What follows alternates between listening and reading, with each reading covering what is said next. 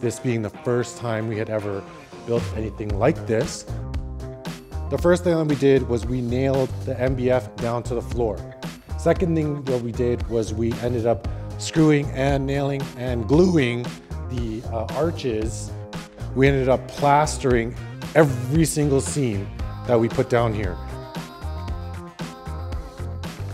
We got it done in five weeks. And that's how this wall came to be.